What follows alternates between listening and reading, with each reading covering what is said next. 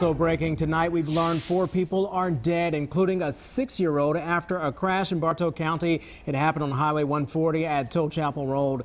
Investigators tell us the car the victims were in ran through a stop sign and crashed into a pickup truck.